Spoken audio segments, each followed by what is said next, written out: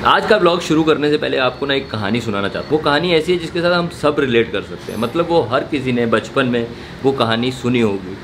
किसी ने अपने मम्मी पापा से सुनी होगी, किसी ने अपने नाना नानी से सुनी होगी, किसी ने अपने दादा दादी से सुनी पर सुनी ज़रूर होगी, ये मैं शर्त लगा के बोल सकता हूँ। वो है भूत की कहानी। याद है हमारे को जब हम बचपन में छोटे होते थे, बचपन में सब छोटे होते हैं, पर जब हम छोटे होते थे, तब अगर हम खाना नहीं खाते थे तो घर वाले बोलते थे कि भूत आ जाएगा। अगर सोते नहीं थे तो बोलते थे भूत आ जाएगा। पंजाब वाले बोलते थे कि नहीं सोएगा तो काले कच्चे वाले आ जाएँगे। तो सब लोगों ने अपने बच्चों को इसी तरीके से डरा के रखा। नहीं सोया तो भूत आ जाएगा। पढ़ाई नहीं की तो भूत आ जाएगा। इस तरीके से ही उनको हमने समझा समझा के इवन मैं खुद ऐसे ही माँ बाप ने हमारे को भी ऐसे ही समझाया। फिर जब बच्चा बड़ा हो जाता है और जब वो भूत से डर रहा होता है, तब माँ बाप क्या बोलते हैं कि कोई भूत भूत नहीं होता, किसी से डरने की कोई ज़रूरत नहीं है। बट तब तक वो भूत हमारे दिमाग में या हमारे दिल में वो डर अपना बना चुका होता है। वैसे ये कहानी मैं क्यों सुना रहा हूँ? ये कहानी इसलिए सुना रहा हूँ क्योंकि जो ये कोरोना है, जब ये मार्च शुरू हुआ था, जब हमारा पहला लॉकडाउन शुरू हुआ था तो हमारे को बोला गया कि कोरोना बहुत ही खतरनाक है, बहुत ही डेंजरस है, अगर आप बाहर निकलेंगे तो आप मर जाएँगे। आपकी डेथ भी हो सकती है, आपके अंदर वायरस इन्फेक्ट हो सकता है और दो महीने से सब घर के अंदर बैठ के जब डर गए, जब सबने एक्सेप्ट कर लिया कि ये बहुत ही खतरनाक चीज़ है, उस टाइम के बाद ये लॉकडाउन खुल रहा है। लोग सड़कों पर वापस जा रहे हैं। वैसे ही नॉर्मल तरीके से और अब बोल रहे हैं कि कोरोना कुछ नहीं है। समझ रहे मेरी बात की मतलब अब बोल रहे हैं कि भूत नाम की कोई चीज़ है ही नहीं। तो ये कहानी सुनाने का रीज़न यही है, भूत भी उसने देखा है, वो नहीं चाहेगा कोई और भूत देखे, और जिसने कोरोना देखा है, वो नहीं चाहेगा कोई और ये कोरोना को झेले। तो इसलिए मेरी आपसे यही रिक्वेस्ट है, अगर लॉकडाउन खुल भी जाए, जब तक आपको ज़रूरी काम ना हो, तब तक आप बाहर ना निकलें, और निकलें भी तो प्लीज़ सेफ्टी के साथ निकलें, क्योंकि आपकी जान आपके ही हाथ में है। लॉकडाउन खुलने का मतलब ये नहीं है कि कोरोना ख़त्म हो गया है, बीमारी वहीं की वहीं है इवन केसेस स्पीड से बढ़ रहे हैं। केसेस में कमी नहीं आई इवन डेथ रेशो भी बढ़ता जा रहा है। तो मैं आपसे इतनी ही गुजारिश करूँगा कि आप जब भी निकलें प्लीज़ बिना काम के ना निकलें और निकलें तो प्लीज़ सेफ्टी के साथ निकलें मास्क सैनिटाइज़र सब चीज़ों का ख्याल रखें। नहीं तो दिक्कत आपको, आपकी फैमिली को और सबको हो सकती है।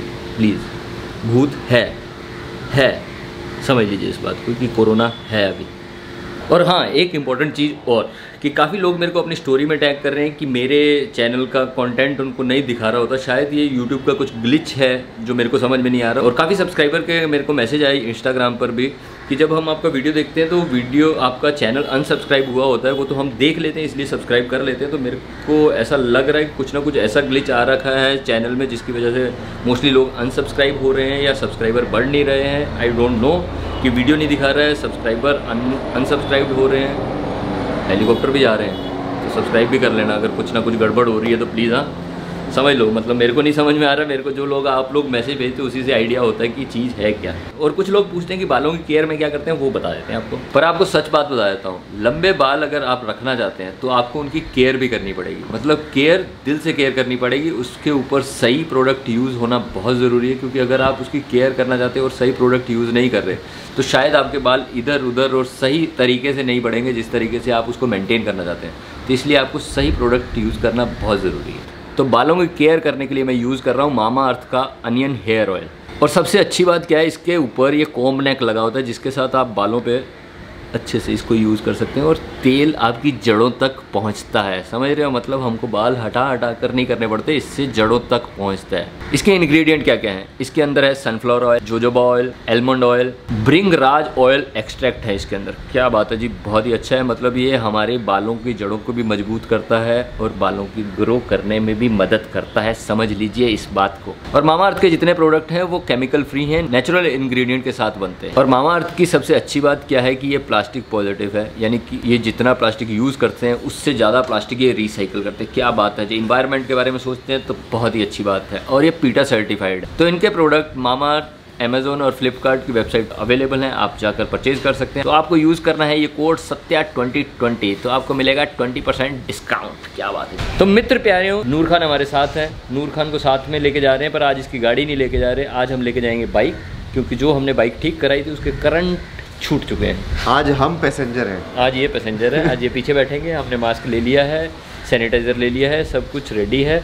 और बाइक का जो करंट है आई थिंक हमारी बाइक भी गर्लफ्रेंड ढूंढ रही है उसके करंट कहीं खो गए हैं। एक काम तो ये है। और दूसरा काम इम्पोर्टेंट काम क्या है कि बॉम्बे में जब बारिश शुरू हो जाती है तो तीन चार महीने रुकती नहीं है। राइट वीरे नहीं रुकती। जो बॉम्बे वाले हैं जो महाराष्ट्र वाले हैं वो समझ रहे होंगे। तो इसलिए हम दो महीने से घर पर नहीं है सबसे बड़ी प्रॉब्लम ये है और घर की कोई देखभाल नहीं है। तो हमने सोचा पहले बाइक ठीक कराएँगे फिर घर जाएँगे और घर को थोड़ा सुरक्षित ढंग से करके आएँगे। तो ये हमारी बसंती रेडी है। हम रेडी हैं नूरखान रेडी है। अभी तो करंट है ना इसके अंदर जो इतना अभी करंट है। आज सुबह मैकेनिक है। मैकेनिक को बुलाया था मकैनिक वो करंट वाली तार को कुछ हिला विला गया करा कि आप ले आओ वहाँ पर हम सही कर देंगे। कुछ खर्चा है। समझो लॉकडाउन में खर्चे हो रहे हैं। हाँ। वो जो डब्बा मैंने खोला था ना। अरे वो कर लिया चार बार से उतनी देर से उसी से चला रहा हूँ मार मार के। पहला काम तो हमारा लग गया क्योंकि इतनी दूर में हमारी लग चुकी है। तो अब इसको वापस खड़ी करते हैं गाड़ी पर जाते हैं घर का काम संभाल के आते हैं। तो अब वापस से जी हम ये ड्राइवर हो गया। अब मैं क्या हो गया हूँ? देखो लास्ट में अपनी धनो ही काम आती है। वही हाँ, सत्य है कि बसंती के अंदर जितनी पावर थी ना जितना करंट था हाँ वो वसूल लिया उतना खत्म हो गया। अभी वो शी इज़ डेड नाउ अब वो कल आएगा, कल ही होएगी, वो सही, देखते हैं अब कल सही होती है, क्या होता है, पता नहीं जी करते हैं, पर आज घर पर ज़रूरी है जाना, इसलिए घर पर जा रहे हैं।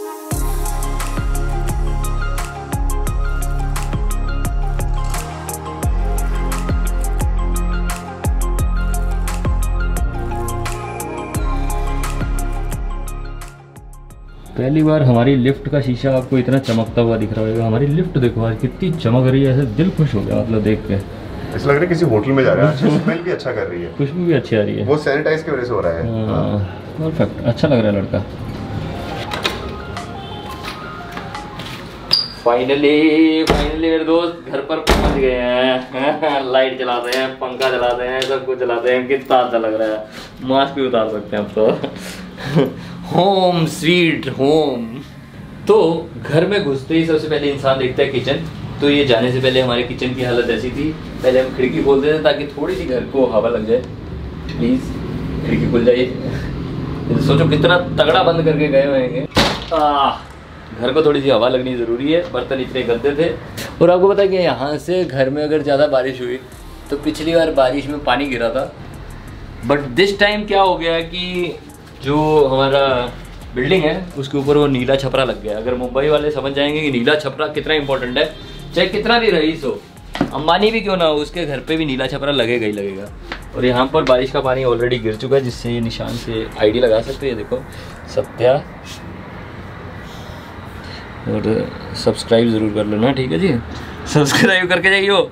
स्पेलिंग के लिए जगह नहीं बची है, पर सब्सक्राइब ज़रूर कर लेना। ये खिड़की भी हम खोल देते हैं। अलमारी भी थोड़ी सी खोल देते हैं ताकि उसमें भी हवा लग जाए। राइट विवेक? सही है? किसी नूर भी बोल रहा है सही है। तो मैंने ये कपड़े लगाने आया था कि अलमारी अलमारी में रख देंगे पर नूर का सजेशन कुछ और है। नूर आप क्या कहना चाहते हो? वो कबर्ड में रख के ना अभी बारिश के मौसम में हम्म। इसके अंदर कपड़ों में मॉइस्चर लग जाएगा। हम्म, क्या आप तो भी इस बात गंदा गंदा होके ना वो ऐसे फंगस होता है ना हम्म, वो लग जाएगा। तो इससे बेटर है इसके ऊपर बेडशीट ऐसे डाल दो। वो ज़्यादा बेटर है। तो ठीक है ये करते हैं बेडशीट डालते हैं थोड़ा बर्तन वर्तन साफ़ कर लेते हैं। बाकी तो घर ठीक लग रहा है बाकी हम इतना बिखरा हुआ छोड़ के नहीं गए। बिखरा हुआ छोड़ के नहीं गए या फिर हम ये बोलें कि हम यहाँ से सारा सामान लेके जा चुके हैं? कुछ बचा ही नहीं ऐसा लगता नहीं कि घर में कुछ बचा है हमारे। बट इस पे चद्दर डाल देते हैं क्योंकि ये बहुत महँगे कपड़े हैं। फ्रिज फ्रिज जो था वो हमने चलता छोड़ा था। और ये देख सकते हो आप फ्रिज पर इतनी सारी मैग्नेट लगी है। मतलब ये इसलिए है क्योंकि ये जगह पर हम घूम के आ चुके हैं। कितना घूमता था लड़का। ये हमने चौदह दिन सोचा था लॉकडाउन होएगा और ये हमने चैलेंज लिया था।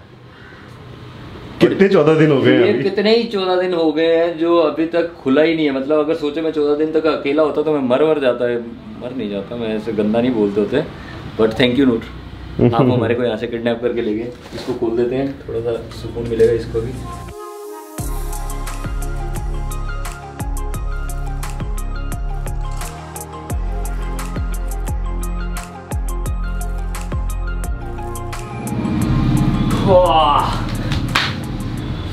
समझ सकते हो मतलब अपने घर पर कितने दिनों बाद सुकून से बैठा हूँ मैं यहाँ घर आया हूँ। और मैं चाहता हूँ यार ये लॉकडाउन जल्दी से जल्दी ख़त्म हो जाए, पर ये लॉकडाउन पता कब ख़त्म होएगा? जब हम घर पर टिककर समझदारी के साथ काम करेंगे। ऐसा नहीं कि खुल गया और काम बाहर निकलना शुरू मतलब ये मत सोचो कि सरकार ने बोल दिया कि खुल गया है, इसका मतलब कोरोना ख़त्म हो गया। बिल्कुल नहीं। तो ये आपके ऊपर समझदारी है। मैं सिर्फ़ यहाँ पर आया हूँ क्योंकि मेरे को लग रहा है कि घर को एक बार संभालना ज़रूरी था नहीं तो शायद मैं भी नहीं निकलता इतने दिन हो गए। सिर्फ़ राशन लेने के लिए निकलते हैं। हम बहुत ज़िम्मेदारी के साथ लगे हुए हैं चाहे आत्मनिर्भर कितने भी हो गए हैं पर काम पक्का कर रहे हैं हम। तो मैं क्या बोलता हूँ? तो हमने क्या सोचा है जी? आज हम इस घर में खड़े होकर रब रखा करेंगे। ठीक है जी? चंगा फिर। आपका ख्याल रखो। असी भी आपका ख्याल रखेंगे। चंगा फिर। रब रखा। रब रखा कर दे ये ब्रो रब रखा? करे रहियो समझ गए ना नहीं तो भूत आ जाएगा।